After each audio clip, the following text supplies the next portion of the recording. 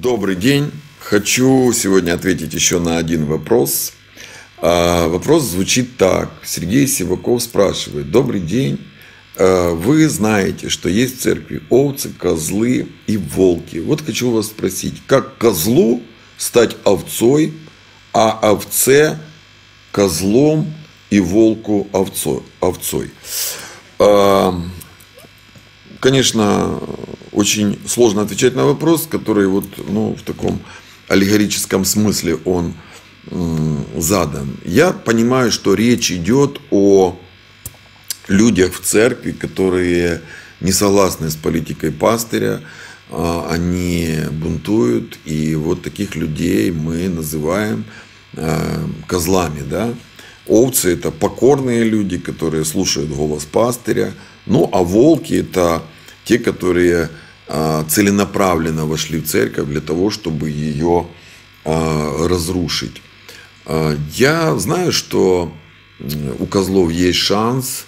Волки же это люди, которые используемы чисто дьяволом, бесами для разрушения церкви. Поэтому к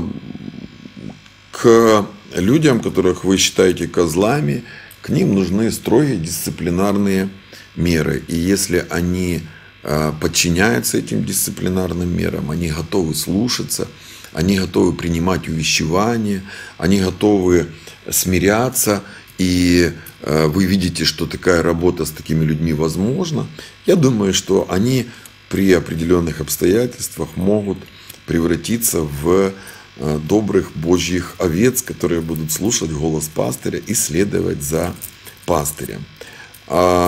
Если же, а, если же мы говорим о волках, это человек, который целенаправленно призван дьяволом разрушить такую церковь, разрушить ваше служение. Дорогие мои, с этими людьми надо быть очень строгими, жесткими, с ними нужно бороться. И э, вплоть до того, что их просто э, удалять из церкви, отлучать из церкви. Потому что Э, волк, он не щадит стада. И, конечно же, все эти вопросы, они возникают рано или поздно в жизни пастора. Но самое главное, чтобы вы не объявили вот такую травлю и в каждом человеке старались увидеть там козла или волка. А, все мы, люди, имеем ошибки – все мы склонны к изменениям, все мы склонны к каким-то неправильным поступкам.